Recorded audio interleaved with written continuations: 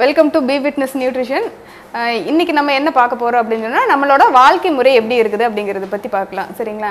இன்னைக்கு நம்ம வாழ்க்கை வந்து ஹெல்த்தியா இருக்குதா?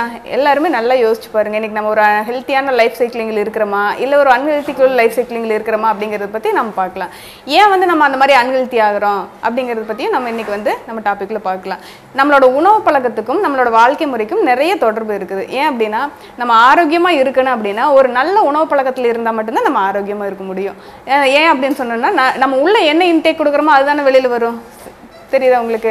அப்போ நமக்கு உள்ளே கொடுக்குறது எப்படி கொடுக்கணும்? நல்ல பொருட்களாக கொடுக்கணும்? ஆரோக்கியமானதாக கொடுக்கணும்? நல்ல சத்துள்ள பொருளாக கொடுத்தோம் அப்படின்னு சொன்னோம்னா நம்ம வாழ்க்கை முறை வந்து ஒரு டாக்டர் விசிட் இல்லாத அளவுக்கு நல்லா இருக்கிறதுக்கு நிறைய வாய்ப்பு இருக்குது. பட் நம்ம அப்படி கொடுக்கல. எதை வேணாலும் சாப்பிட்றோம் கண்ட நேரத்தில் சாப்பிட்றோம் அந்த மாதிரி எல்லாம் இருந்துச்சு அப்படின்னா நம்ம பாடி வந்து ஒரு சில சிம்டம்ஸ் வந்து நம்ம காமிக்கும். முதல்ல பார்த்தீங்க அப்படின்னாவே நம்ம பாடி வந்து அன்ஹெல்த்திக்குள்ளே ட்ராவல் ஆகிட்டு இருக்குது அப்படிங்கிறத பற்றி அன்ஹெல்த்திக்குள் ட்ராவல் ஆகிட்டு இருக்குது அப்படிங்கிறத பற்றி ஒரு சில சிம்டம்ஸில் வந்து தெரிஞ்சுக்கலாம். என்ன சிம்டம்ஸ் அப்படின்னு பார்த்தீங்கன்னா டயர்னஸ் எல்லா இடத்துக்குமே பாடியில் ஒரு விதமான டயர்னஸ் தான் முதல்ல வர ஆரம்பிக்கும். நம்ம என்ன நினைப்போம்? நம்ம வேலை செய்கிறோம் அதனால் டயர்ட் ஆகுது அப்படின்னு சொல்லி நினைப்போம். பட் அப்படி கிடையாது. ஒரு ஏழு மணி நேரம் எட்டு மணி நேரம் ஒர்க் பண்ணி அதுக்கப்புறம் நமக்கு டயர்டாச்சு ஆச்சு அப்படின்னு சொன்னோம்னா அது வந்து ஒரு வேலையினால வர டயர்டு அது வந்து எல்லாத்துக்குமே வரலாம். அதில் வந்து தப்பு கிடையாது. பட் ஒரு சிலர் பார்த்தீங்கன்னா காலையில் தூங்கி எந்திரிச்சிக்கும் போதே டயர்டாக ஃபீல் பண்ணுவாங்க.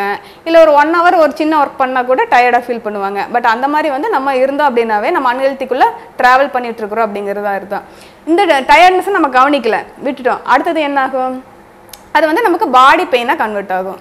அடுத்தது இந்த பாடி பெயினே நம்ம வந்து க- கவனிக்கல. அடுத்தது என்ன ஆகும் அப்படின்னு சொன்னோம்னா பேக் பெயினாக கன்வெர்ட் ஆகும். சரிங்களா? இந்த பாடி பெயின் பேக் பெயின் வரும்போது நம்ம என்ன பண்ணுவோம் அப்படின்னா நம்ம வந்து தேவையில்லாத நிறைய சாப்பிடுவோம். ஒரு சிலர் பார்த்தீங்க அப்படின்னா கோவம் வந்தால் கூட நிறைய சாப்பிடுவாங்க. நல்லா கவனிச்சு பாருங்க. ஒரு சிலரோட வாழ்க்கையில அந்த மாதிரி தான் இருக்கும். கோவம் வந்து நிறைய சாப்பிடுவாங்க. இல்லை நிறைய தூங்குவாங்க சண்டை போடுவாங்க. அந்த மாதிரி எல்லாம் நிறைய வர்றதுக்கு வாய்ப்பு இருக்குது. இந்த ரெண்டையுமே நம்ம கண்டுக்கல. பாடி பெயின் வருது பேக் பெயின் வருது டயர்னஸ் வருது. இதெல்லாமே ஒமிட் பண்ணிட்டு என்ன பண்ணு ஒரு ஒரு மாத்திரை சாப்பிட்டு நம்ம வந்து அவாய்ட் பண்ணிட்டு போயிட்டு இருந்தோம் அப்படின்னு சொன்னோம்னா அதுக்கப்புறம் என்ன ஆகும் அப்படின்னா கேஸ்ட்ரிக் அசிடிட்டி ஃபார்ம் ஆகும். ஏன்னா நம்ம கண்ட நேரத்தில் நிறைய சாப்பிட்றோம் இல்லையா? நமக்கு ஒரு கோவம் வரும்போது ஒரு சில ஒரு சிலரில் பார்த்தீங்கன்னா ஒரு பாக்கெட் சிப்ஸ் அப்படியே எடுத்தாங்க அப்படின்னா அப்படியே ஃபுல்லாக சாப்பிட்டு முடிச்சிருவாங்க. அந்த மாதிரியெல்லாம் சாப்பிடும்போது என்ன ஆகும் அப்படின்னா நம்மளுக்கு கேஸ்ட்ரிக் அசிடிட்டி வந்து நம்ம உடம்புல ஃபார்ம் ஆகிறதுக்கு நிறைய வாய்ப்பு இருக்குது. இந்த மாதிரி கேஸ்ட்ரிக் அசிடிட்டி ஃபார்ம் ஆச்சு. அதையும் நமக்கு சரி பண்ண தெரியல. அப்படியே ட்ராவல் பண்ணிட்டு இருக்கிறோம். அப்படியே ட்ராவல் பண்ணிட்டு அந்தந்த நேரத்தில் வந்து எப்படி சரி பண்ணிக்குமோ சரி பண்ணிட்டு ட்ராவல் பண்ணிட்டு இருக்கிறோம் அப்படின்னா நெக்ஸ்ட் என்ன ஆகும் அப்படின்னு சொன்னோம்னா நமக்கு வந்து இன்டைஜிஷன் கான்ஸ்டிபேஷன் வரும்.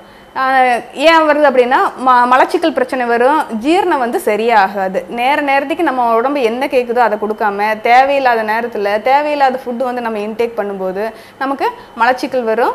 ரெண்டாவது ஜீரண கோளாறும் வர்றதுக்கு காரணமாகும். இந்த மாதிரி மலச்சிக்கல் ஜீரண கோளாறு வந்தது அப்படின்னு சொன்னாவே நெக்ஸ்ட் என்ன ஆகுவாங்க? ஒன்று வந்து வெயிட் அதிகமாகுவாங்க. இல்லை அப்படின்னா வெயிட் வந்து கம்மியாகுவாங்க. அண்டர் வெயிட் போனாலும் பிரச்சனை தான் எக்ஸஸ் வெயிட்டு போனாலும் பிரச்சனை தான் இந்த இடத்துல தான் கொஞ்சம் கவனிக்க ஆரம்பிப்பாங்க. நம்ம ஏன் வந்து இந்த மாதிரி ஆனோம்? நம்ம உடம்புல ஏதோ பிரச்சனை இருக்குது அப்படிங்கிறது வந்து கவனிக்க ஆரம்பிப்பாங்க. கவனிக்க ஆரம்பித்து என்ன பண்ணுவாங்க? அடுத்து ஏதாவது ஒரு நல்ல டாக்டர்கிட்ட போய் அவங்க கன்சல்ட் பண்ணுவாங்க. கன்சல்ட் பண்ணும்போது அந்த இடத்துல பார்த்தீங்க அப்படின்னா அவங்களுக்கு வாழ்நாள் வியாதிகள்னு சொல்லுவாங்க இல்லைங்களா? அதாவது பிளட் ப்ரெஷரு சுகரு ஸ்ட்ரோக்கு அந்த மாதிரி ஏதாவது ஒரு சின்ன சின்ன பிரச்சனைகள் வந்து வர ஆரம்பிக்கும். இந்த மாதிரி வந்ததுன்னா என்ன ஆகுவாங்க அப்படின்னு சொன்னோன்னா வாழ்நாள் வியாதிகளுக்குள்ள போன எல்லாருமே என்ன ஆகுவாங்க? உங்களுக்கு நல்லா தெரியும். ஏதாவது ஒரு மாத்திரைகள் வந்து டெய்லி பேசிஸ்ல எடுத்துக்க ஆரம்பிக்காங்க இன்னைக்கு நல்லா பார்த்தீங்க அப்படின்னா எந்த ஒரு வீட்லையுமே ஒரு ப்ரெஷர் இல்லாதவங்களோ சுகர் இல்லாதவங்களோ வந்து கிடையாது. எல்லா வீட்லையுமே பார்த்தீங்க அப்படின்னா ப்ரெஷர் சுகர் வந்து அதிகமாக இருக்கிறவங்க தான் இருக்கிறாங்க. பட் இந்த மாதிரி ஒரு மாத்திரைக்குள்ளே போகிறாங்க இது என்ன ஆகும்? சடனாக வந்து இது நமக்கு எந்த ஒரு பிரச்சனையும் தந்துடாது கொஞ்ச நாள் போக போக ஒரு அஞ்சு வருஷம் பத்து வருஷம் அந்த மாதிரி ஆகும்போது மாத்திரைக்குள்ளேயே போயிட்டு இருக்கும்போது என்ன ஆகும் அப்படின்னு சொன்னோம்னா ஹார்ட் டிசீஸ் வரும். சரிங்களா? அந்த ஹார்ட் டிசீஸ் வந்தது என்ன? அப்படின்னா ஹார்ட் டிசீஸ் வரும். நெக்ஸ்ட் பார்த்தீங்கன்னா கிட்னி ப்ராப்ளம் வரும். இந்த மாதிரி பிரச்சனைகள்லாம் வரும்போது என்னன்னா அவங்க லைஃப் அவ்வளோதான் முடிஞ்சு போயிடும் இன்னைக்கு இந்த மாதிரி ஒரு லைஃப் சைக்கிளிங் தான் எல்லாருமே இருக்கிறாங்க. இந்த மாதிரி பெரிய வியாதிகள்லாம் சடனாக வந்து நமக்கு வந்துடுறது. சின்ன சின்ன அதான் நான் சொன்னேன் இல்லைங்களா ஒரு டயர்ட்னஸில் ஆரம்பிக்கும் அப்படின்னு. ஒரு டயர்ட்னஸில் ஆரம்பிச்சு ஒரு பேக் பெயினில் ஆரம்பிச்சு ஒரு ப்ரீத்திங் ப்ராப்ளத்தில் வந்து வெயிட் வந்து கம்மியாகி எச்சாகி எச்சாகி இந்த மாதிரி ஹார்ட் டிசீஸு இந்த மாதிரி பிரச்சனைகள்லாம் வரும். பட் நம்ம எந்த இடத்துல கவனிக்கணும் அப்படின்னா ஒரு டயர்ட் ஆகும்போதே நம்ம உடம்ப வந்து கவனிக்க தெரியணும். நம்ம கவனிக்கல அப்படின்னு சொன்னோம்னா தான் இந்த மாதிரி வாழ்நாள் வியாதிகளுக்கு நம்ம போகிறதுக்கு நிறைய வாய்ப்பு இருக்குது.